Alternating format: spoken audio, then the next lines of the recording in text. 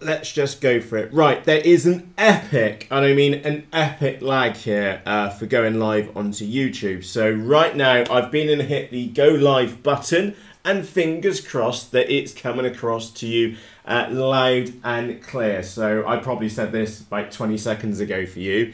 Uh, so with that said, what I'm going to do, I'm going to move across to the main workbench one and I can see myself chatting on there but there's just a massive delay uh, across the YouTube. So slightly different setup uh, than normal. If you can let me know if the audio is good that will be fantastic. So assuming everything's good hi my name's Matt. Welcome aboard. Uh, this is a live session which we're going to run every Saturday morning for the foreseeable future where we get to have a chit chat uh, and mull over a couple of topics for RC, get some models built, get some models repaired. Uh, also, there's a topic which we're going to touch today, which is a CNC router, which is that I've got big chunks of her ready uh, and to go. So we're going to be discussing about that in a few moments' time. Now, do remember you can get involved with today's live chat. Uh, with the live session on the right hand side of your screen, there's a live chat. Now, obviously, if you're using the iPad or mobile phone, you'll probably have to press the live chat button to get involved.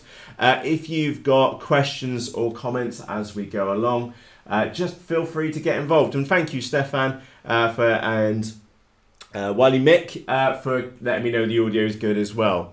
Right, with that said, I've got a collection of topics, uh, and let's quickly just run it. I'll tell you what, let's get straight up. Last week, we had a really good chat but we didn't get much built, did we? So let's get to that worktop uh, and uh, we'll and actually get stuff done. Now, to give you a heads up, we have a Sir Newton on my desk. Uh, and that's what we're going to be looking at in a moment. Uh, you can also see that I'm fully laden up with coffee as well. So uh, give you a heads up. I am aiming for an hour. Uh, but I may get one or two interruptions come in as things progress. So I want to apologise in advance. I've got a car being picked up uh, and a car being taken away today as well. So uh, it's really busy here in the Ogborne household today.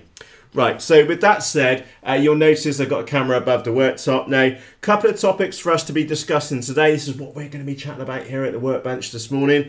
Uh, the Sir Newton, which is what we've got here. That's the first thing which I need to get done today because tomorrow is a flying day. Can't wait. A little bit windy. Who cares if the sun's out? Gonna burn me head. Uh, we also are going to be chatting about the CNC build. There's a big chunk of the CNC over there. We'll be chatting about the progress for uh, how far we've got. Oh, I've got a massive bag of end mills. We'll take a quick look at those too.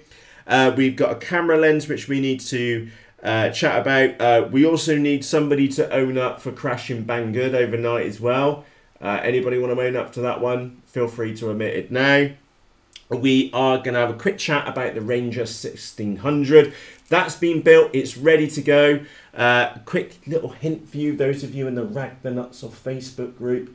The post build thoughts are now in that group uh, and that will be published uh, maybe tomorrow evening. Not entirely sure on my schedule just yet. I've got a whole load of videos which are backlogged, uh, and I'm not too sure which that one's going to be out on Sunday or not. We'll see on that one. Uh, and oh, a little shameless plug. I have some Rag the Nuts off stickers and some t-shirts on the way to me, so look out for those in the Facebook group in the next week as well. Let me go and get this screen back over here. Now you will notice uh, that I've got a slight office change. I'm not running across there to do it. I've set the laptop over this side uh, for today's session so I can keep an eye on your chat as well. Uh, hello Dave, how you doing sir? Uh, I see uh, uh, Little Duck, yes, uh, and good morning Jazzy as well. Uh, and Diamonds and Rust, good morning too. Uh, so let's start with number one. Oh, actually, let's go, let's go straight off topic straight away. Uh, you know that Ranger? I actually found the instructions. it's a bit late now. I've kind of already been built them. oh dear. Anyway, the Sir Newton. Now, what is the Sir Newton and what is the model which we're looking at? Uh, in short, it's the Lidl chuck gliders. I'm sure you've seen them. They're what they five quid in Lidl uh, every a year or half year uh, or every six months or so. They come out with these chuck gliders which you can pick up for peanuts in Lidl, uh, and there is a massive following in, into converting these. And the thing is, is that I've seen all the different conversions, but none of them have really tickled it for me. Uh, however, I want to say a massive thumbs up to Rick in the uh, Facebook group because he made a Sir Newton, which is a canard plane. So uh, most of you would know a chuck glider. If I put that round like that, uh, that way round, that will look familiar to you with the tail fin at the back and the motor on the front. However, a canard plane, uh, or Sir Newton as I'm calling it, has a flat surface on the front uh, and uh, we've got the motor on the back and then we've got the wings at the back. Now to add to the peculiarity of this model, which is something which I need to try and set up here this morning. I hope I've, oh, I don't say I've lost one. Yeah, that'd be, oh no, found it. Yay. Uh, is to add to the curiosity for this model is that you'll notice that we don't actually have any uh, movable surfaces on the front. However, the whole wing set, and we don't, sorry, and we also don't have any normal surfaces on the back either, do we? There's no surfaces. Oh, what? Put that on the wrong way around, didn't I? And there's nothing quite like doing this live. There's also nothing quite like editing all the mistakes out as well. So you can obviously tell this is being live. Uh, and if I get this round the right way round, is if I just push that round there. So there's our chuck glider. So it flies. I'd say, well, when I move across to the main screen, because it'll make more sense. Give me a moment. So we'll go uh, workbench. Right.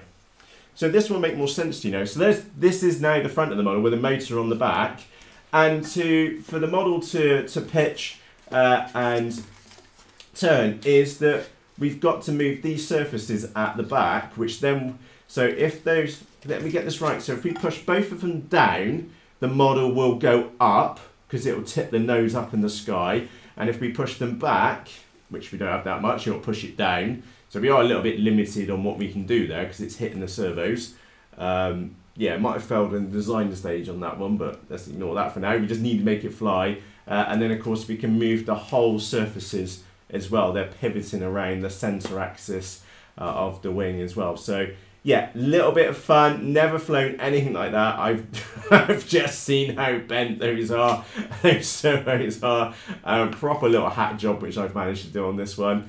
Uh, and that, that's what I'm calling a Sir Newton. So I've got a couple of things to do here this morning. Uh, the two major ones is that I need to get the motor working uh, and I need to get, I just need to get it flight worthy for tomorrow, which involves two things. A, A getting the motor wired up uh, or soldered up on the back and of course we have a we have a 50-50 chance of getting it the right way round which we all know is a 100% chance of getting it wrong. Uh, and I need to just get the lid soldered on uh, what do we call it uh, hot glued on as well. Uh, I did notice we got a slight thrust angle issue but I just need to make it flight worthy for tomorrow. That's my plan. So uh, yeah let's take, we'll get that one across the desk and we'll get this one set up right now uh, and on that note, an open question to you is that have you been and bought one of these little gliders? And if so, did you convert? Have you converted it yet? And if so, what did you convert it to? Have you made a slope saw out of it? Have you made it a powered model? Had you even considered making a Sir Newton?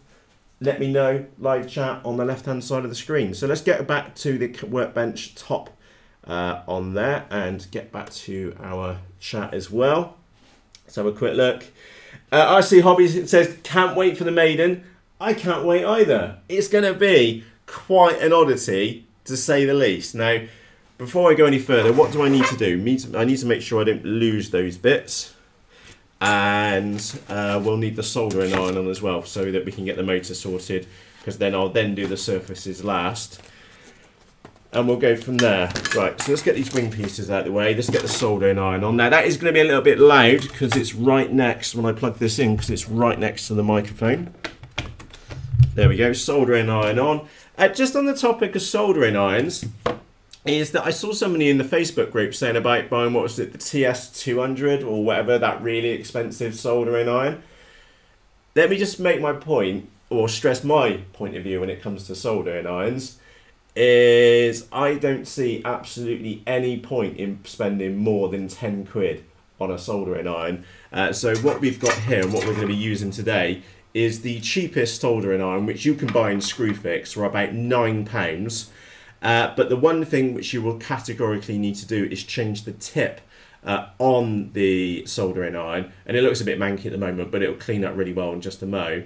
Uh, is that just buy the cheapest set of Silverline uh, soldering iron tips from Amazon for about four pounds. So all in all, we'll say less than fifteen pounds. You can have a soldering iron which will cover 99% of the requirement for the average RC hobbyist.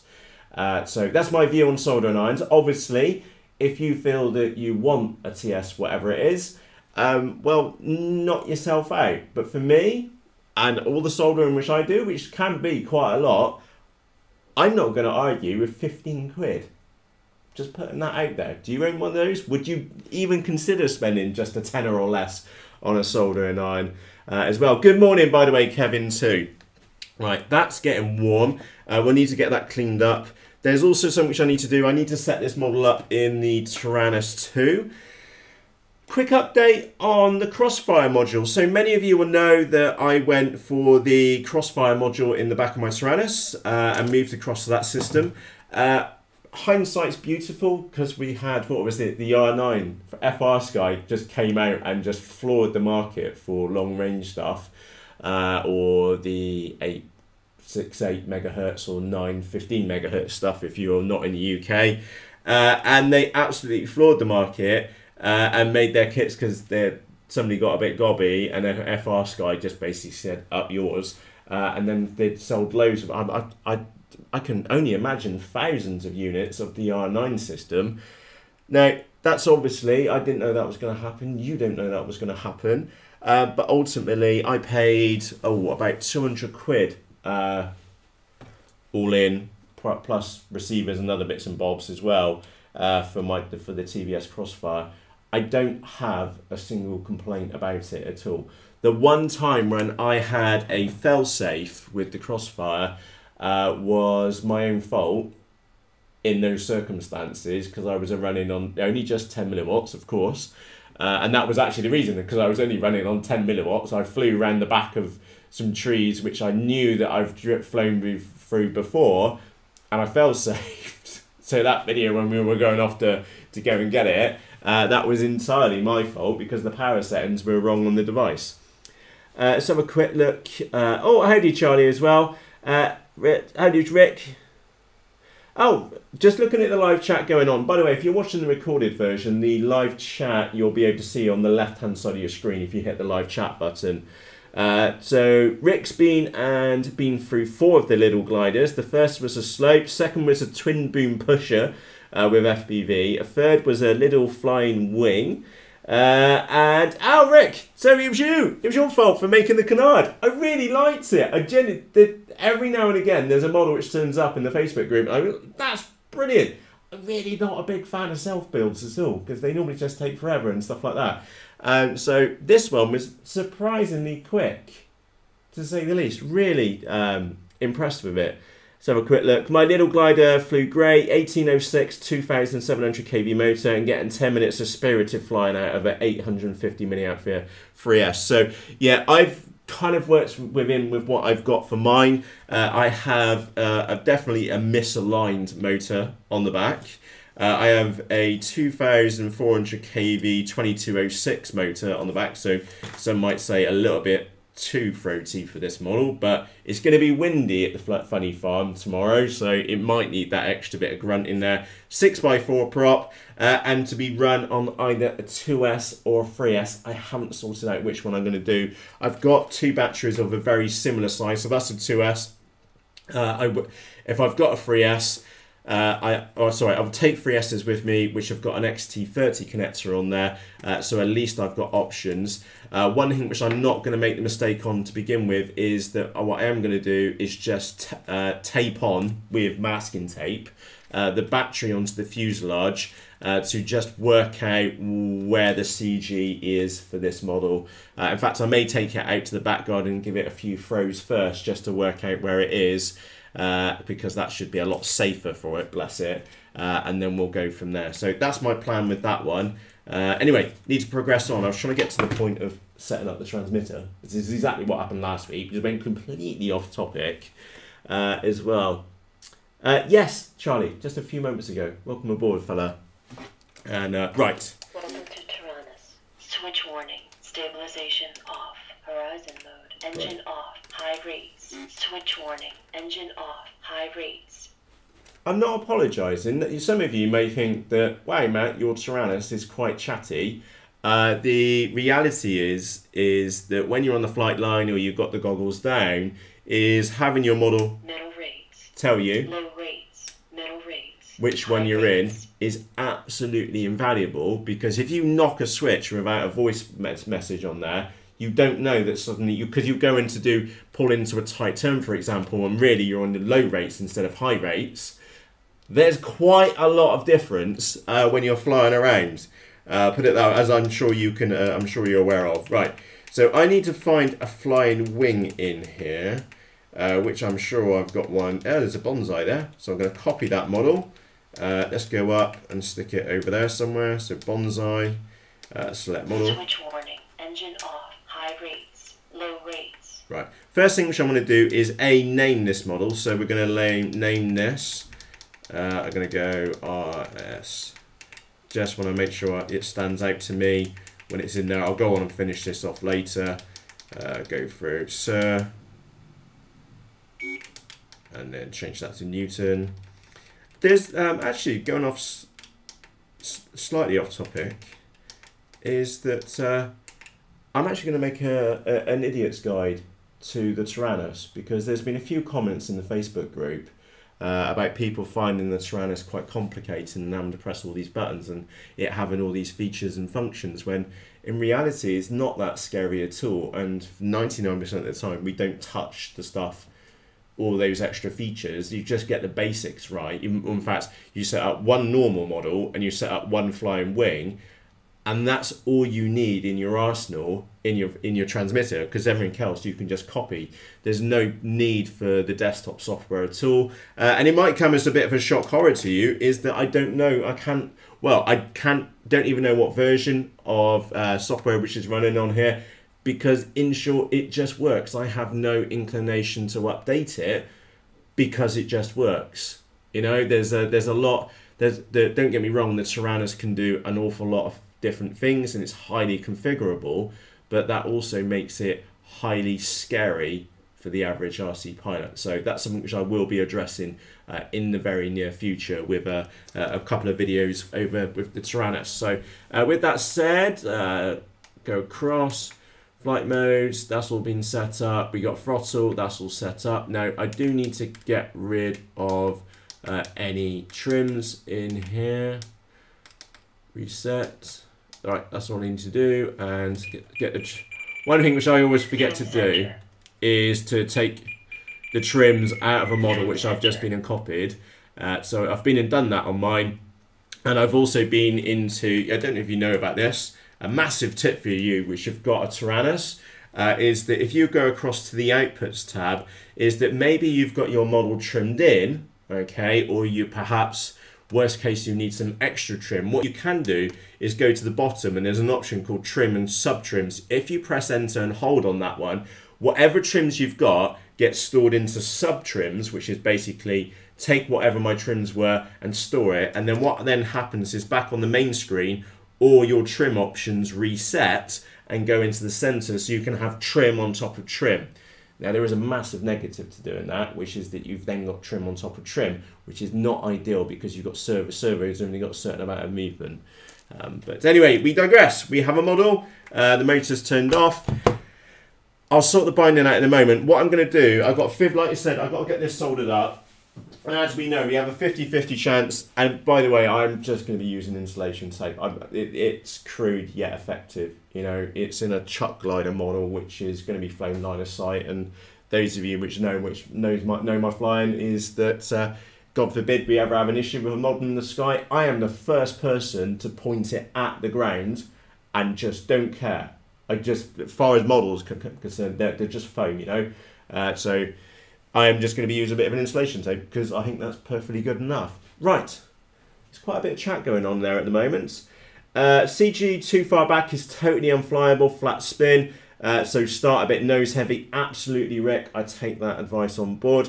Uh, need to get my little finished. I've two. I've gone for the goblin style. Oh, I really like those really short little bodies. I bet that's going to fly amazing. Uh, whoa! Holy One person, which was here at the very, very beginning of the Rag the Nuts off, is just turned up in there. I will message you directly on Facebook afterwards. Glad to see you around. I was getting a bit worried, if I'm frankly honest. I will message you on Facebook after the live episode. Um, so very, very nice to see that you're around. You're alive, etc., etc. So I'll message you afterwards as well. Uh, Julian as well, good morning, sir. Uh, we will be having a chit chat about the Ranger 1600 in a few moments. And no, I haven't been and flown it yet. I've literally just gone out and just made sure everything is out and uh, ready uh, for it to be done. So anyway, need to plough on, need to get stuff done. This thing is the first time we actually build something on a build Saturday. So it took two live sessions uh, for us to get in there. A little tip, those of you which do soldering, there's two things which you, don't, sorry, top camera.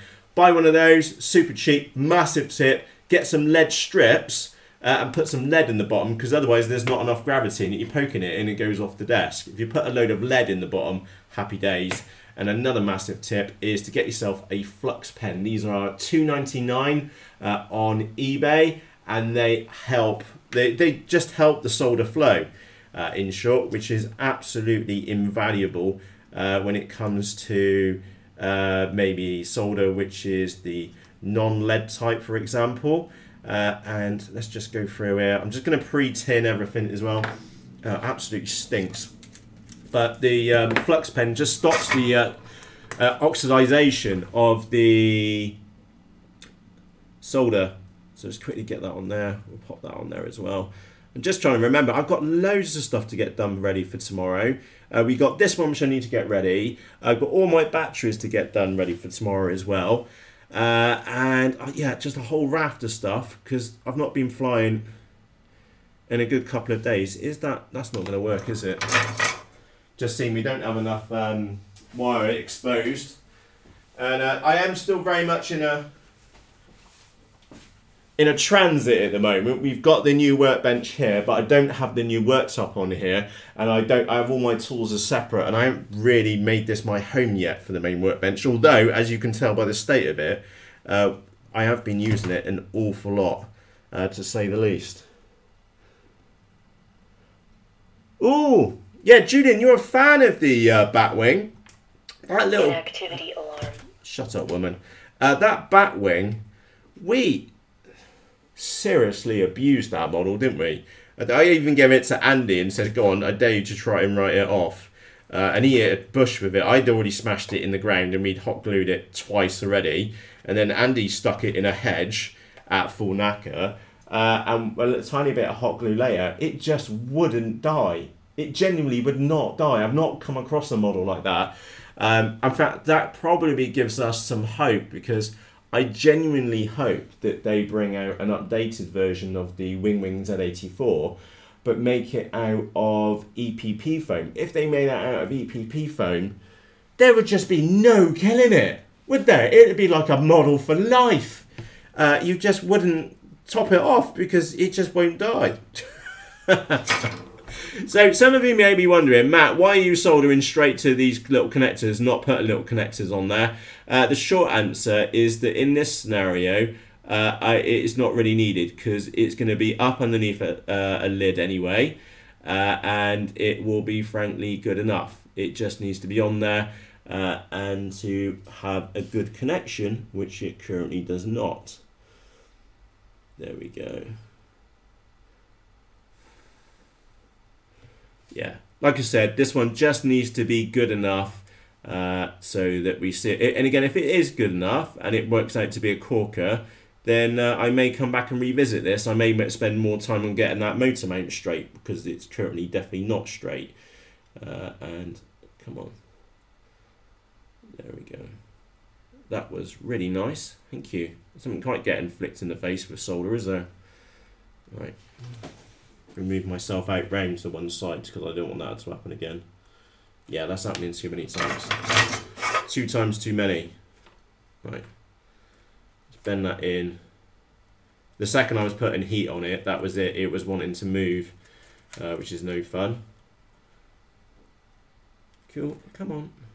I need some of those little arms. You know, the ones the ones which hold out. And I, I did have a set of those before, but they just didn't last.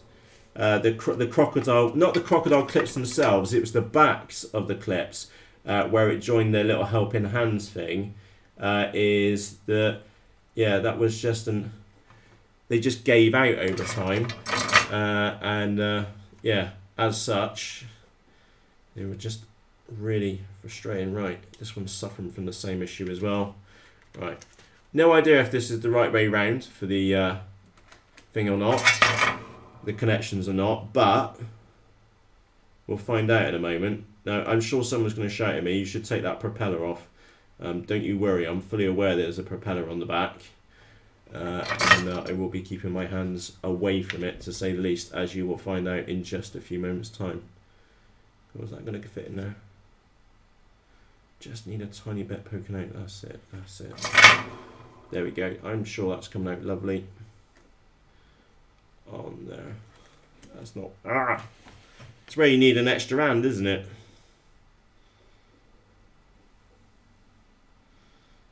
Come on.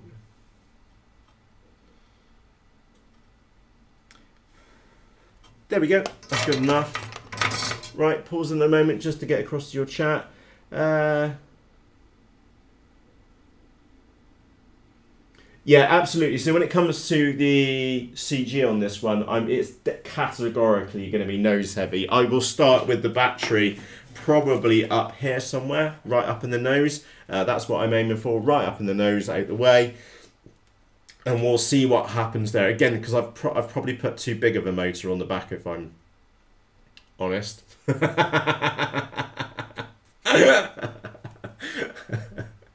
But uh, yeah, that's going to get. I'll put that up the front somewhere so we know it should be at least should be nose heavy. Uh, I'll give it give it a few throws in the garden anyway. Uh, and the reason and there's two reasons for that. A is for the CG and B just to make sure if I have the surfaces going the right way. Because one thing which I do know about these mods where you put the uh, where you move the whole surface is that the rolls on them uh, is absolutely bonkers to say the least absolutely bonkers. But point very, very well taken. So with that said, let's get her turned on. Welcome to Taranis. Engine off. And it'll be a moment of truth for a couple of things. Right. Uh, throttle down and that back switch on my Taranis. Engines armed. Engine off. Is my safety switch. That overrides channel 1 for me, which is my throttle, uh, down to minus 100. So then I know it's uh, safe uh, in short. So yes, I might be working with the propeller on, uh, which you probably don't want to do, but I will be keeping my hands well away from there. And also it's just hanging there. Worst case, I can grab it and pull it away. Right. servos are working, which is a bonus. Engines armed.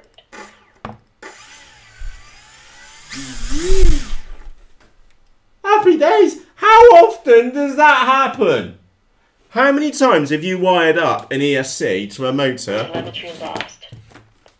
and it's worked right first time? I can probably count on one hand when that's happened. In fact, there was a model here which had two uh, motors on it. I wired it up and they both went the right way first time. It's one of those things which just get logged into your memory, uh, into yeah, literally into your memory because it doesn't happen every single day. Normally, what happens uh, is that they always go the wrong blooming way. And of course, if they were going the wrong way, uh, we've got basically three options. Some ESCs let you reverse the uh, spin of the motor, you can change the direction. Uh, some motors, uh, so you could switch the wires over, so desolder and then resolder, or you could swap the propeller over. The last one you never want to do uh, because with RC model or model airplanes is that you do expect for the propeller to be counterclockwise, uh, to spin, yes, counterclockwise, uh, because that's how every other single model is set up. So most motor mounts have some angle in them, uh, so to change the thrust of it to compensate for the torque uh, of the motor, uh, and uh, yeah, so you don't, yeah, you normally want to use counterclockwise motor propellers for RC models. Obviously, with multi rotors, uh, then you need to mix them up because it helps with stability. But uh, yeah, single propeller models, yes, absolutely. Right. That is good enough in short. So let's get this solder and iron up out the way. And I feel like we're actually doing a build Saturday. Isn't this cool? My reference is to last week when we just chatted absolutely loads. So uh, uh, let's go and get that one. Out. Oh, I would love to get ready for that for tomorrow. Oh, is that going to happen? Oh, I don't know. I keep meaning. There's a video which I really, really want to do, which is on the EF Extra. I absolutely love my EF Extra. I've got a V900, which was the Horizon Hobby E Flight one. I paid £175 for that, and it's not that good. Whereas the EF Extra, what did we pay? 125 quid for it, even when it was brand new, and it flies really well. And they got a load of spares well, and I've I've planted that thing in the ground several times, and it keeps on going. Big fan of the EF Extra, and it's gonna it's gonna be an interesting um, episode when we look at the V900 because yes, it is fast, but it's not as good as the EF Extra, and I think the V900, given its due, is faster. But I think better value for money all round is the EF Extra. Does, does that make sense? I just think it flies better. I just there's parts available. It's a proven airframe, airframe, and it just oh, and it comes with an FPV pod. So that's something else which I need to sort out here today. So yeah. right, uh, pausing for a moment for your chat as well. Uh, no, definitely not sloping that one as well. Yes, absolutely, and. Space Toy, look, I'm working on my latest little mod too. Uh, happy days. Chris, welcome aboard. Chris, we will chat about the CNC in a moment. I have made some really good progress. Anyway, I needed to at least finish-ish the job at hand. Uh, and that's to get these wings on here and hot glue that lid on. So where I whatever I've done with the hot glue gun, I did half prepare myself. It ah there it is, half prepare myself this morning. Unfortunately, I'm a little bit of shame. I don't have my pink hot glue gun. The girls nicked it back off me. I really like the little pink one. It was really cool. So I got this really crappy brown one. So which just leaks everywhere. Uh, so yeah, not that much of a fan. I also had some hot glue gun sticks here somewhere. I did have some form of preparation here this morning, believe it or not. While that hot glue gun's warming up, I do need to get into my boxes and go and find ourselves uh, some. What are they called? They're not. They're, Clevises. When I find, I, I find them. Oh, there you go. Found them straight away. that was not planned at all. I can assure you. Uh, let's move that out of the way. What are those called? What are these? It doesn't even say. It just says they're 2.1 millimeters. They are the little brass or Chinesium metal adapters which you can put on the end of a servo. So can I put this up on the camera? Does, is that showing alright for you? Just up there? You know what I mean, those little doodads. Uh, and it just makes the uh, the setup uh, and adjustability of um, the control horn just so, so much easier uh, on the model. So let's get this, that's the opposite wing. And let's get this wing. So I'm going to do the left wing first. So the first thing which I need to do uh, is get a hole drilled in there. Uh, I also need Loctite as well. Thread locker, blue stuff. Oh goodness me! Never ever buy the red stuff because the red stuff's permanent. It's a nightmare. Uh, the red, the, always says buy the blue stuff. You want to get it back off again, put the blue stuff in. If you want it to stay on there for its eternity and have to use an impact driver to get it off, use the red stuff. Absolute nightmare. Uh, anyway, Need to drill this out to get that in there. So what else do I need? I need drills. Uh, two, which I know that I'm lacking on. Please, uh, I have, I paid about 20 quid for this really nice Araba set of uh, drills. They are here in the office somewhere. I used them once and I've put them down and I haven't seen them since. I am just quickly scanning around to see if I can spot them. Really nice posh box, the lot, like the, the drills which you keep for the best days, you know. Uh, no, couldn't find it. I had no idea where they are at all. So uh, let's quickly line those up. That's definitely too big. I quite like the look of that. Let's go and find ourselves a drill. Oh, I learned something new this week. A washer is called, get this, a precision shim. I didn't know that. I'm gonna have to. That's. Uh, it made me laugh when I read that in that manual. It was uh, quite peculiar. Now, quick note there. Those of you which are uh, joining us here live, this is a live RC build se- uh, session. Right now, we are working on a Sir Newton, which is a canard plane. Uh, we've got the ESC in, we've got the motor wired up. Just working on getting the servos in so we get lots of movement in the rear surfaces. We will see how that works in real life in just a few moments once we've been and got that one done. Of course, if you have just been enjoying this live, there is a live chat on the right hand side of your screen uh, so that you can get involved and let me know and what everybody else know uh, what's going on and what you are working on this morning. Heck, if you're just led in bed and you're about to go off to ZZ Land, have a great evening. Uh, if you're already woken up and you're uh, a good jug of coffee in already, happy days. Let's go and get some stuff built in short. Uh, so, and that's the purpose of these uh, build Saturdays. Is a couple of people which have got perhaps a slight issue with RC to join up, have a chit chat, and just carry on in short as normal. Right. Uh, do I need? which, if I put that on Oh, wow. So I've got to do this backwards. That's going to be fun. Right, I don't know if anybody has worked out my up yet. I've just heard something going on outside, so I know what that is. Um, you may not have worked out what my screw up is just yet with that. I'm just going to look for a pair of pliers a moment. is that I have put the servo, and they're hot glued in, they're not coming back out again. The servos are in the wrong place. So I'm now having to work with my inbuilt indiscretion uh, to, that's not working out very well at all. Is it going to be good enough? I'm just going to force those in with a pair of pliers, which is, is that going to, Yep, that's moving freely. A uh, little dab of blue. Loctite on the back.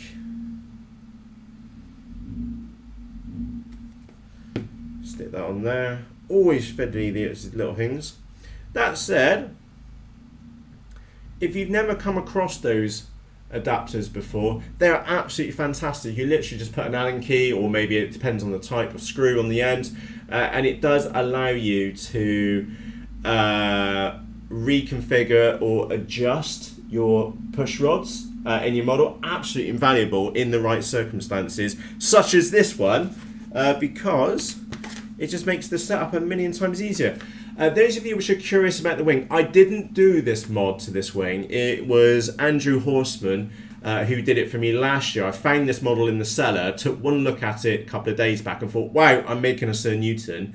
Uh, what he's been and done is that down there through the middle is that we've got a carbon outer tube, uh, another inner tube, and there's a tiny little bit which has been inset in there, which is for our control surface for our push rod to go in. And then up underneath, they've done su such a fantastic job. Cut out a hole in the bottom for where the tube goes through, and then put a little plastic washer in there and one of those little um, Z clips as well. Really, really nice job. So. Uh, yeah, praises there for Andy. Thank you. So I do appreciate. Or it might have been his brother John, to be honest. Uh, I can't remember which one of them did it. And again, there's washers in there in the side of the wing section, so there's plenty of free movement. And let's get this up and around. So I need that to go on there, like so. And I do need to find my screws, which, oh, that glue gun is spilling its guts out absolutely everywhere. Always good fun. Yeah. Let's get that in there. And what have I forgotten? What do I have? I don't have Allen keys. That's what I needed. Again, I can't wait to get this desk sorted out because uh, I'm over on that side. I'm going to have like this hidden drawer which I can put stuff in, probably tools like this, for example. Uh, and also, and I've, if I put that, ooh, that one fit? Uh, on the opposite, oh, chances of that, yes, it does fit. So that's done up and nice and tight now. Uh, is that on the opposite side, I've got just I'm gonna have somewhere which I can just push all the rubbish off the desk into a bin, lift up the hatch, just pour the crap into the bin. Uh, I think that's going to be super, super handy. Uh, but I also need some tools up on that wall as well, all the common stuff, uh, and some other bits and bobs up here in the window too, so that when we're working here at the desk trying to get through stuff, is that I do have everything available to me. So I'm not having to do what I'm having to do right now, which is nip over there to go and get some, and then coming back and then ending up the tools here on the desk and here and everything. Oh, yeah. Working through it at the moment. Life's tough, isn't it? right. Uh, which hole did we go on there? So let's go and do the same on that one. Just going to drill that one out as well. Right, pausing for a moment. Uh, morning, Dave, by the way. Just saw Dave turn up in the chat as well. If you don't know Dave Knox, we'll call him Mr. Consistent every single day uh, since I, what, for the last how many years now, Dave? It said pops into the Facebook group and said good morning. So good morning, Dave. uh, shameless plug for the Rag the Nuts Off Facebook group. Uh, literally nip across to uh, Facebook, type in Rag the Nuts Off, uh, or go to Facebook forward slash groups forward slash Rag the Nuts Off. Uh, there's about 3,000 of us, RC pilots like me and you, which are in there, um, genuinely abusing foam is the uh, upshot to it. Although I was thinking about this the other day. I haven't abused that much foam that badly in quite a while. Is that something which I should change? Don't know. I don't know. So uh, yeah, we'll look out to, look out for that. There's a few um, changes which are in progress. Is all I'm going to say, and that is one of them. Let's get those in there. Right, uh, what have I missed on there? Vince says, just like a hammer, it's called a fine adjustment tool. Yes, the persuasion device, the persuader, is what the hammers get called here. Uh, good morning, Arios. I think that's right on there. Uh, currently building a dead cat style 7 inch long range quad. Happy days. Uh, also, and alongside that, I'm working for a Firefly wing. Oh, I've got a Firefly here wing here in that box over there. And to be honest, that's one of the reasons for a build Saturday is that I can put aside at least an hour every Saturday morning, like you could do, is an hour Saturday morning, and just chip away at a couple of models, uh, and sink, sit, chill, drink some coffee. Mmm. Stone cold, my favourite. And just get some models done. That Firefly I've had here for two months, probably a little bit long. Uh, put it this way, embarrassingly too long. And maybe that's the next one which I need to get up here on the workbench. But that's one of my biggest issues is A, time, and B, just try and prioritise getting some of these models fixed. Because we'll go out, we'll fly them, we'll, we'll abuse them. There's like my spec wing over there, which I wrapped around a tree so hard, and I genuinely mean so hard, I've stripped the gears and the metal gears in both servos in the wings. That's how hard I hit the tree. The, the, the wing itself's fine, but the servos shot. And it was one of the best wings which I've got for flyability, and could remember it only cost me 30 quid as well. So, yeah, that's the underlying, well, one of, one of the underlying reasons to for these build Saturdays is to just get some of these fixed, because it is a really good model. It just needs me to get my arse in gear to get it going, you know? Right. We will build a Sir Newton here this morning. And by the way, what, what, what am I talking about, Sir Newton? That is any model which has got canards on the front. That's the logic which I'm going with this one. Uh, so let's get this up and around in there. That hot glue gun is still spilling its guts everywhere. Right, it would be easier if I put that up like so. And poke that in there. Come on. Come on, Gertie. Here we go. Yeah. Some might say I could have even planned that quite badly because I've done it the wrong way around. But uh, let's not go there on that one. Right, let's get this push rod up through there. I also need to rotate that as well. Ooh, that is going to be a bit tight, isn't it? Let's bang that one up through there. Right, there we go. And then I have got, oh, that's going to be really good fun. I also need to find, I've got a really expensive, well, for me, really expensive. I bought this fantastic, it was really cool little uh, set of pliers. I think they cost me about 14 quid off Amazon. Really, really good quality. And they are so nice to use. It is unreal. I had them here at my desk a week ago ish. Not seen them since. They've they've fallen somewhere. That's why I need a tool rack up there. So everything has a home. One thing which I have learnt. Um, so yeah, we will get to the build in a moment. This is this is it's a chat. All right, is that I went off on a slight bender with some MX5s. Big fuck off mistake, but let's not even go there on that one. But one thing which I did there was two things which I learned from three things which I learned from that experience. A, I really don't like car buyers.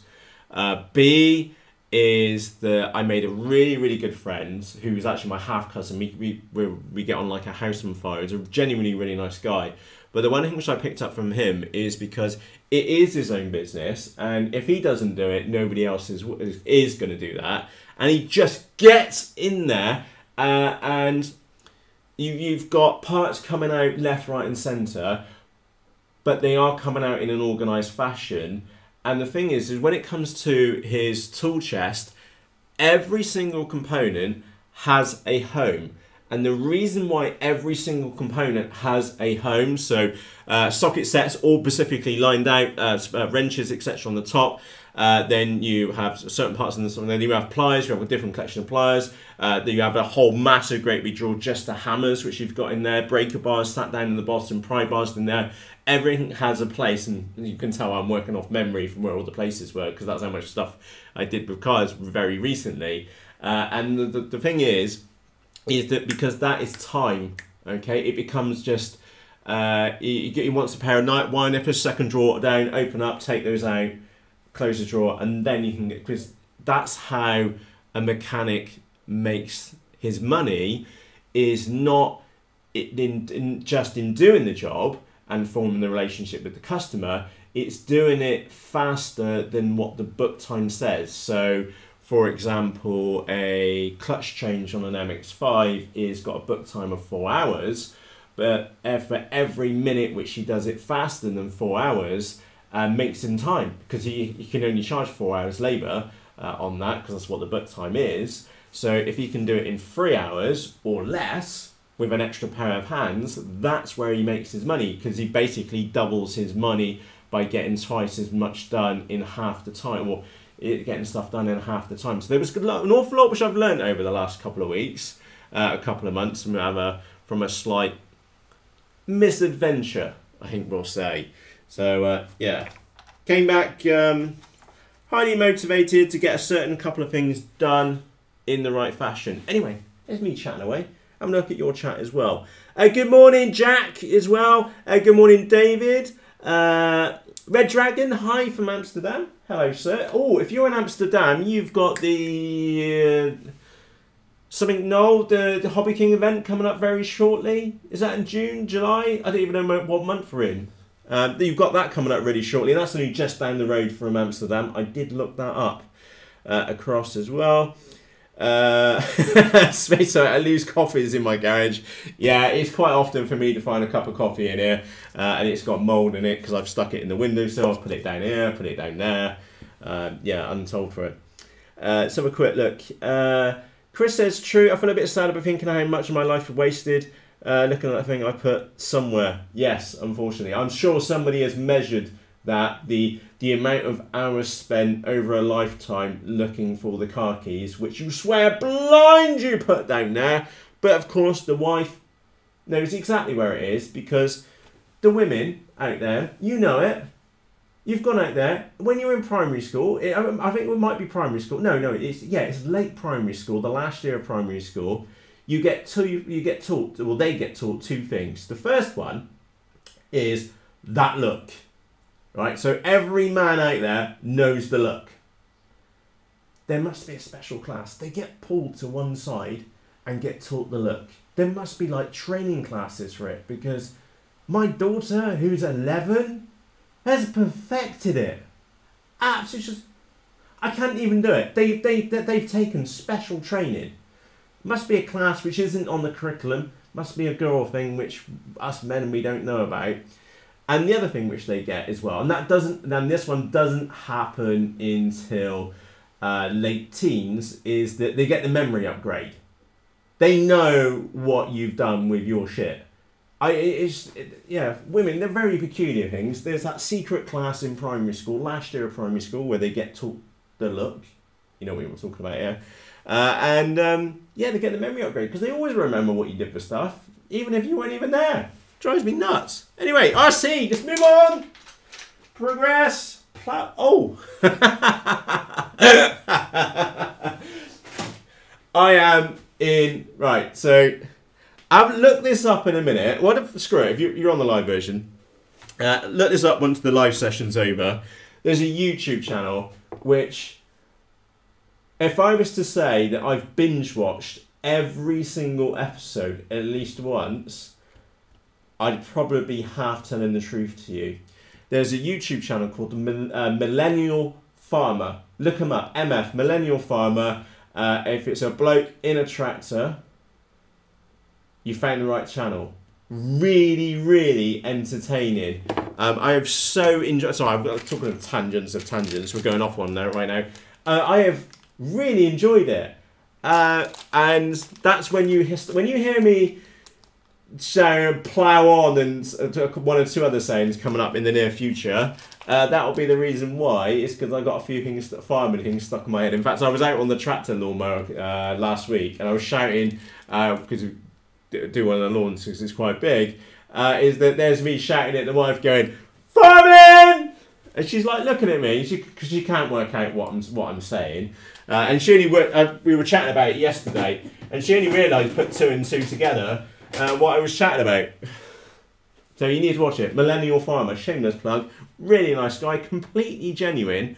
And um, yeah, I like him a lot really good presenter. And, and again, one of those things about YouTube, uh, and just at the camera, not apologising, you'll be alright, uh, is it genu- somebody who's genuine normally does quite well with an underlying purpose they do rather well and he's one of those people so i have enjoyed that shameless plug for them um, because it is genuinely really really good anyway let's go and get this thing trimmed in switch warning Engines blah, blah, blah. Low rates. Ooh. Engine off. Engine off. High rates. Right. Cool. Is that trimmed in nicely? I think we are. Because uh, the reason why I need to get it trimmed in now here on the desk is because I'm about to go and glue the lid on top of it. and then once that's in, uh, we're going to have to use a craft knife to get it back out again. Uh, so that will be fun, I am sure, if I ever need to do that. And yes, the ESC will be lovely and cozy and warm underneath there. I, I would hate for it to get too cold in this lovely warm summer which we're about to have. So, yeah, that's going to be fun. Right, uh, which, do you like my towel? I think that's really cool. I do, like that towel. Uh, let's craft out a little bit of the ESC wires to go in the bottom. Yeah, sorry, we've got usual. These uh, chats should be, sorry, these build sessions should be called uh, How many different topics can Matt go off topic on, on top of off topic topics?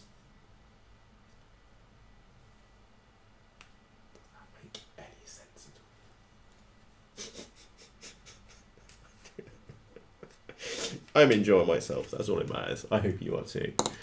Right, let's have a quick look. Um, yes, that's uh, Phil. If you've been a posted a link to the Millennial Farmer, thank you. Do really appreciate that one as well. Uh, again, just looking at uh, your chat as well. Uh, if it's when you have turned up, yeah, you put it down. It's just it's the fairies, isn't it? Is it the fairies? Is it little Tinkerbell? She coming into your office and nicking your bits?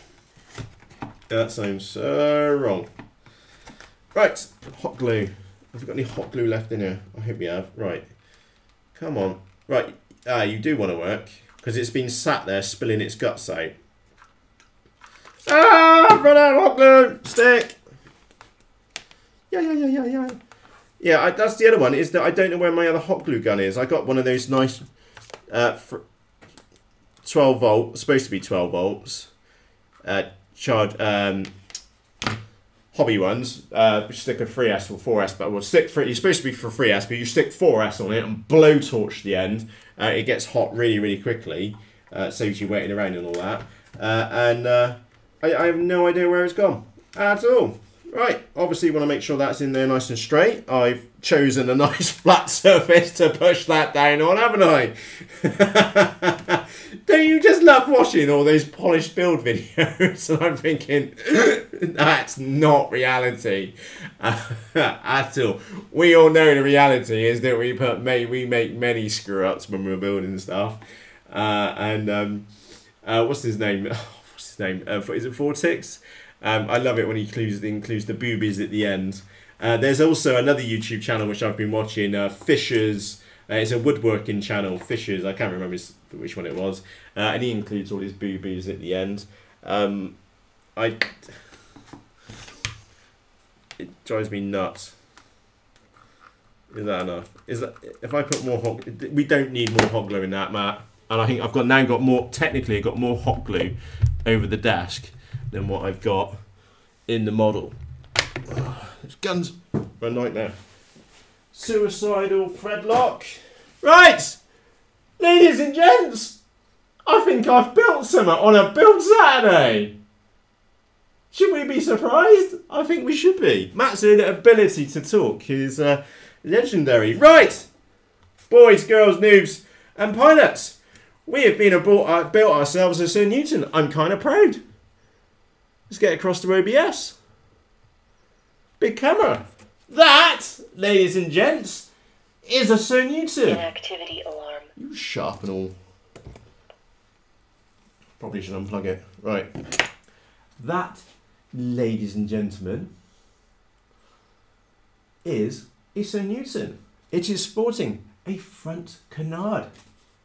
Do do do do do do do. Uh, so it's a front. So you've got canards at the front, and the rear surfaces are weird because the whole, if I turn it around like that, that will give you an idea. The whole wing moves. Uh, so this is a cross between uh, a flying. Well, I don't know. It is its own thing in its own right. It is a Sir Newton, which it will now be forever known as a Sir Newton. A quick rundown. This is a little chuck glider, which um, Andy gave me last year actually, and then converted it uh, to uh, a centre bar mod in the middle so that we're able to move both surfaces fully. Uh, really nice job which Andy's did on that one, or John, his brother, did to it. Uh, we've got 2206 uh, 2400 kV motor on the back with a 6x4 prop. Uh, definitely, definitely with thrust angle issues at all. So if this one flies a bit funky in the sky, uh, it's obviously not my fantastic work which I've been in done here. On the rest of the model, it will be down to the it must down, it will be purely down to the thrust angle uh, of the motor on the back, of course. So I may need to readjust that one. Uh, build time not that long to be honest. Um, yeah, the, I, I think I've just spent the longest amount of time just sorting those servos out at the back. The rest of it was just trying to work out the layout of the model itself. Uh, but you have to admit, it really does have quite a unique view uh, or, or, a look. So that's why I'm calling it a Sir Newton because it's very rare that we come across a model which has a unique look um, because every normal aeroplane looks like a normal RC model aeroplane. You know, even high wing, low wing, etc., etc. They all kind of look the same. Flying wings are a little bit different. A Mini Drak, for example, forward swept wing, um, is kind of unique. That one, I saw an opportunity to um, name something after uh, a content creator who I quite like a lot, which is uh, Andrew Newton. Uh, and as such, I am um, I'm naming it as Sir Newton. So yeah, look out for a few more canard planes in the future because uh, they, they, they are known to fly really quite well. Uh, they do have one or two slight issues with getting affected from uh, uh, uh, side winds on them. That, I think that was one issue with them. Um, but everything is minor uh, in the scheme of things. So I, I just like it because it's. When do you ever see a model like that? It's like throwing a mini talon backwards. Look out for an episode on that one uh, in the next week or two. Yeah, probably two weeks. So anyway, there we go. We actually built something for a uh, build Saturday. I'm very impressed with myself. I hope you're impressed. we'll see. right. Anyway, that's that one done. Right. I've done one thing on my to-do list this morning, which was to build a Sir Newton. Let's quickly move on. So I'm going to quickly jump back across to the top view and get back to your chat as well.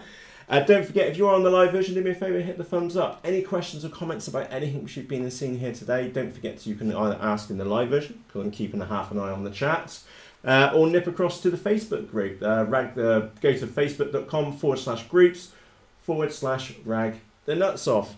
Uh, on that said, let's have a quick look. Congratulations, I'm off to go and crash some planes. Good girl, well done. Uh, you might might need to turn it around. Uh, you, it does look really cool, Chris.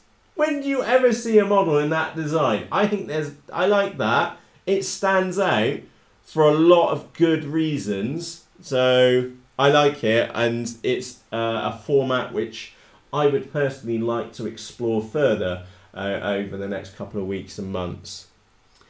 Uh, some more, yeah, we'll just throw it and see what happens on that one. Uh, Jack the Beat, Jack, go and do it. A glider, what, five, ten quid, worst case, copper servos? Can't be that hard.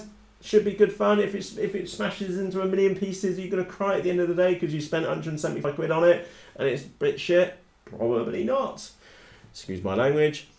Uh, Lee says, unfortunately, no Lidl's here in Oz. Uh, who wants to get a cheap smuggling syndicate? Uh, apparently, the one which is on Banggood, the bigger one, uh, I saw Andrew Newton post it on his YouTube page or account uh, earlier today.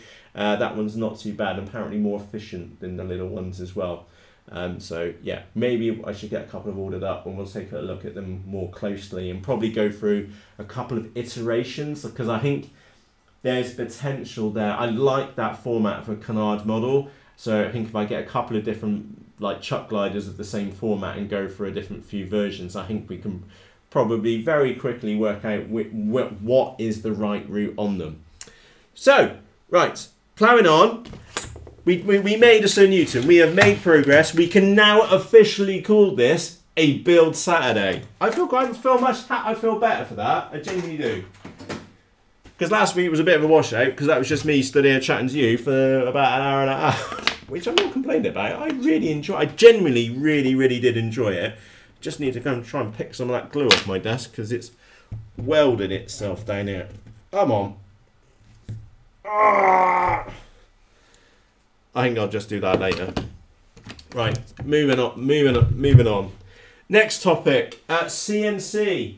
So, if you've been underneath a rock for the past month or so, uh, you may not know that I have literally a 1.5 meter by 1.5 meter CNC machine, uh, which is lit. It has been here and arrived.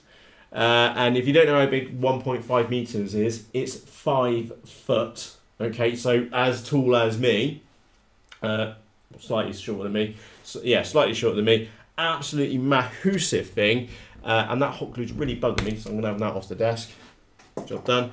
Uh, and I've just started to build it. And progress is doing pretty well. Uh, I've got the X and Z uh, axes, which I've just been working on. Can this coming out on the camera? Yes. So we'll have a closer look. It has been uh, really straightforward to build. Uh, the I have gone for a lead screw mesh setup, which was slightly more expensive, uh, but it will give me more torque uh, and options for things to do later. So right now I'll set it up on the minimal height, but have higher accuracy. But later on, um, there are some bigger projects which I'd like to be doing, uh, and if I need to move the bed around, I will do that later. But right now, I literally am in the build stage. It has been really, really straightforward. And I, I actually want to pause for a moment and just show the instructions which I've got. So let me move this across. And I'll happily share this, the, this PDF in the um, Facebook group so you can have a look to see what's involved. Because I know for some of you, it may feel that it might be a little bit scary to you. So that's, that's probably scary when I'm doing that. Right, so we'll take a closer look at that. If I do F function F11, uh, maybe go back a page or two, scroll up, because there was some mating of some parts there. Uh, come on. Come on. Right.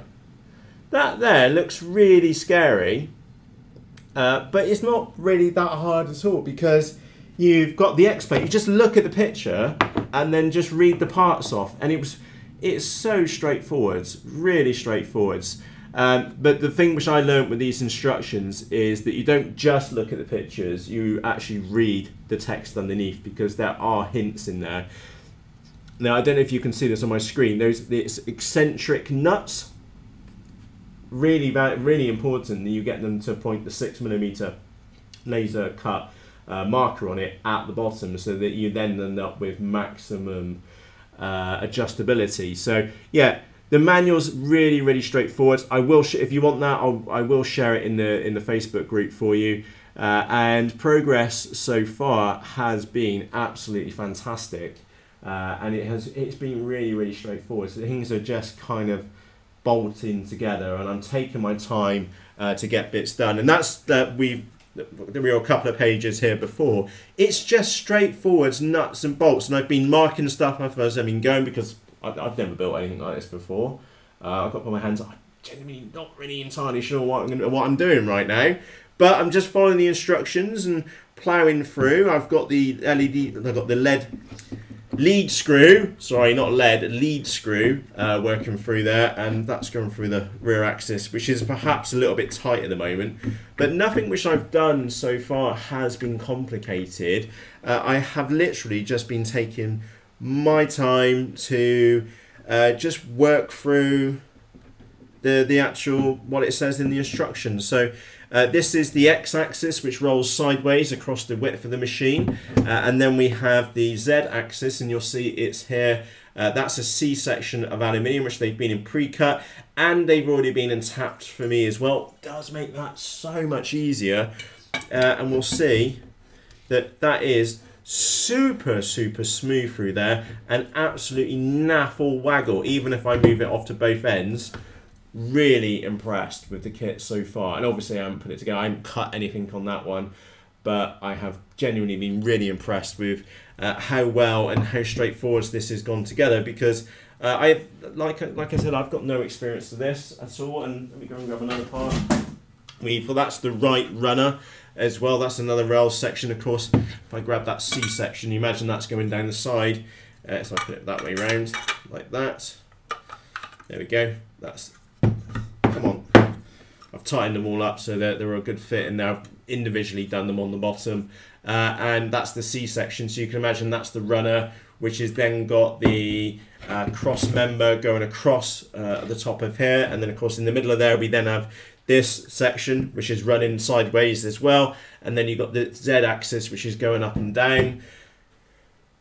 I'm getting there. I'm getting there, slowly but surely. Um, I'm halfway through my instructions. So yeah, watch this space. CNC projects. Some of them, I've got, I've got ideas which I would like to do. I've got, so actually quite surprised of how many good ideas which I've come up with, or objects and things which I would like to build uh, already. Um, and we will discuss CNC in a little bit later. But for but for right now, just the, the where I want to leave this today with you uh, is that everybody knows about 3D printing. In 3D printing, you're printing layer upon a layer upon layer to to make an object from the ground up. Whereas that with a CNC machine is it's the reverse of the pro- process. It is uh, a subtractive process. So uh, 3D printing is additive; it goes up upwards. Uh, and then with uh, CNC is that it's a, a, negative, it's a subtractive process. You're taking material away. That could be cutting out a whole piece which you then take out and, and remove. Uh, or it could be, I'm looking for an example, it could be, ah, just in there, is there. It could be a subcut which hasn't gone all the way through uh, to create a relief. So, but that could be perhaps a landscape. It could be, uh, give you a hint of a project, is that I'm going to take a photo of Luna. I'm then going to cut that out in Photoshop. I'm then going to go and convert it to grayscale.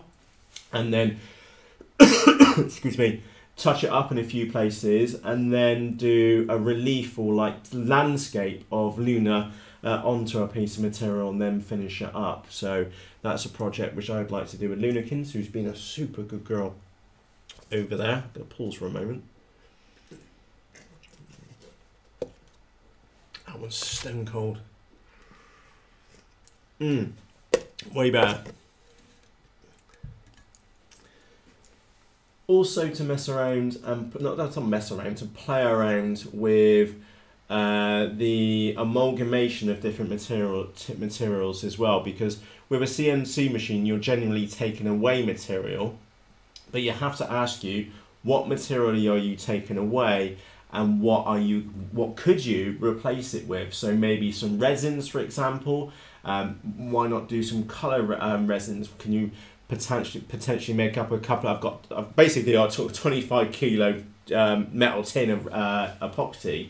Uh, can I mix that up to make uh, a bigger project? Is there things could I do mix up multiple colors and then make a rainbow of epoxy colors and then cut away? Could I have cut something away beforehand and then put rainbow epoxy on top and then taken away to go on an extra level? There's many things, which ideas which I've got whirling around in my head. I've jot, jotted a load of them down already. Uh, and of course, there's nothing stopping us from perhaps putting a laser cutter on the front and cutting out some foam board. Uh, trying to have a go at making some of our own foam board kits as well. Oh, and by the way, I've got a very clear direction of what I'm going to be doing with that one as well. Already worked out the process and the reasoning behind those types of cutouts as well. Something which we'll investigate in the future. But heck, CNC, I haven't even built it yet. Right, uh, moving on, I've not been looking at your chat, so I've got it on the wrong screen. Let's go back to our control room. Uh, right, uh, moving to your chat as well. Uh, sorry, I've, I can see it's been quite busy on there. Uh, a click on you. Right, no planes for you, uh, Vince. Thank you for joining us as well. Uh, uh, reductive uh, engineer is the term which I've heard for traditional uh, engineering methods. That sounds pretty cool. Right. Next topic, and then actually, are we doing for time? Yeah, we're going to wrap up in a couple of minutes' time. Uh, camera lens. Oh, look out for an episode on the replacement of a Runcam lens. I don't think I've seen anybody else do this. I have basically worn out my run Runcam to the extent I've had to buy, and instead of buying a whole new one, which I perhaps could have done, I've bought the uh, lens uh, and the uh, camera module to go in the front of it um, because I think the Runcam 2 is a really good camera. We're going to have a video on that one very shortly. It's here on the desk. I'd like to get that done by tomorrow, so expect that video out with you in the next couple of days. Uh, somebody needs to own up and take the hit for the team to say who was it for the crash of Banggood yesterday. Didn't know if you knew anything that happened. Uh, oh, Ranger 1600. All I'm going to say on the Ranger 1600 is A, overall even after spending five hours on the build, still impressed, still really like it. And the other thing is, how many models have you ever, ever seen me stick models on, uh, stickers on? One. Wing Wing Z84, which is actually up there on that shelf. That's the only model I ever stick stickers on. Uh, looks really good. Can't wait to fly it. Just come out of a five hour, probably more, it's like six or seven hour build on it. Still liking it. I'm glad to be late to the party for that model. Um, we get to have made it tomorrow, so look out for that over the next couple of days. If you would like to know my initial thoughts and impressions at post build, uh, there is a link to that video in the Facebook group. Again, there's a link to the Facebook group underneath this video on YouTube.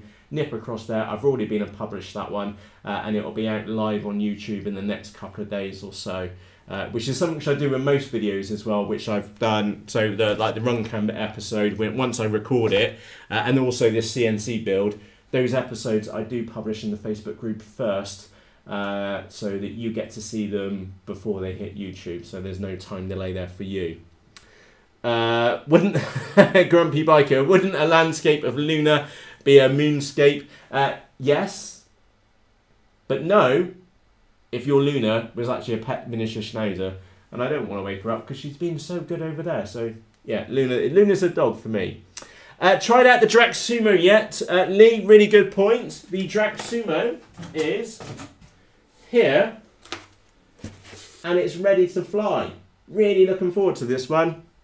In fact, why don't I go and swap this camera back to the big one? Because uh, it is time for us to wrap up in just a moment. Right, there we go. Yeah, Drax Sumo or Tech Drak, it's ready to fly. It's all set up. You can see I've had a battery in the front of it. Uh, I've had to repair it once or twice already. Uh, it has technically flown. Um, that hence why I broke the elevon off and I had to do a repair on that one. And again, I made a video about the repair as well because I thought there was value in that for you too as an RC pilot. So I've done that. Um, it is ready to fly. It will fly properly tomorrow. Um, look out for that in the next couple of days. We also have the Bon Drak, which is here somewhere or another. I don't know how I'm going to fit these models, all, my, all these models into an MX-5 tomorrow. Is going to be a bit of a challenge. Uh, one model which you've not seen any video footage on. Why stop at just one? I had a bonsai in the cellar uh, and I thought, heck, I'm going to make a baby one. So I made a baby one. Uh, so that one will get made in tomorrow as well. Don't worry, I won't forget the camera. We'll get plenty of uh, footage on that one as well. So, late, very good question. Uh, on that note, it is time for me to wrap up. All I can say is a massive thank you to you for taking the time to join me here for a, a build and a chit chat and a sip of some coffee here at the new workstation. We've got so many cool things coming up. Just think about that canard plane as well, the Sir Newton. Re- genuinely excited to see how that flies. I have no idea how that's going to do in the sky at all. Really, really looking forward to that. We have the Drak Sumo, we have the Bond Drak as well. Uh, what else we got? Oh, we got the Ranger 1600. It's underneath my desk. It's ready to be flown tomorrow. Genuinely, really looking forward to that. So we've got a couple of exciting things coming up. Not only with new models and a couple of strange designs which we've got here at the moment, but also for what the future holds with our new adventure very shortly into the world of CNC as well. I know for many of you out there, it's something which you've never done or perhaps uh, have had a slight curiosity in. Uh, and that's the thing is that I've wanted one of these for years and I've kind of bought myself a really big one because heck, why not? in short, if, you, if you're gonna if you're gonna go you're gonna go big, you might as well go big. Uh, so in theory, we can get half a sheet of 8x4 on this one. Uh, it is pretty big to say the least. But I didn't want to be limited. A, I didn't want to. A, I wanted something big because I, w- I would always kicked myself if I had gone big enough. And B, I always wanted to be able to get a sheet of A1 in there, and a sheet of A1 uh, is a brilliant size for us to be able to, to later cut stuff out of. Uh, later on. So I'm already thinking, you may have noticed that there have been a few changes here at Rag the Nuts Off uh, over the last couple of weeks. Some of them have gone down quite well, I hope, and some of them um, may not have gone quite down quite well in the beginning. Um, but I'm very much looking towards the end game here and what some of the things which I've got in my head which I would like to do and are in the process of doing. So uh, we're all on a journey with this. What happens from here? No idea. In short, well, no, I've got a very good idea, uh, and um, we'll see. So anyway, I've talked too much. Thank you very much for taking the time to watch this episode. If you've enjoyed this live build episode, do me a favour and hit the thumbs up. Any questions or comments about anything which you've been and seen here today, uh, you can either leave me a comment and underneath this video after we've been live, or pop across to the Facebook group. Again, shameless plug for that. Uh, and of course, don't forget, next Saturday, 9 o'clock UK time, we're going to be here live at the desk and working on the next parts. In fact, if I've got that CNC machine built, I will hook up some Wi-Fi or maybe go for a wired connection in the room where it's going to be this, where it's going to live permanently, uh, and we will take a look at that, uh, the CNC machine, and maybe look at the process. I'm, I'm getting a little bit hopeful here. Um, so don't hold me to it. Maybe we'll look at the process of making something really, really simple uh, and then actually building it live or getting it cut live uh, so that you can see what goes on for the entire process. I think that would be a really good challenge. Whether we get to that this week coming or the following one, not entirely sure. And of course, if you've got any ideas or suggestions what we can do with a five foot plumb and wide CNC machine, let me know, comment section or across in the Faceballs group. So on that note, from myself, Matt, as always, cheerios!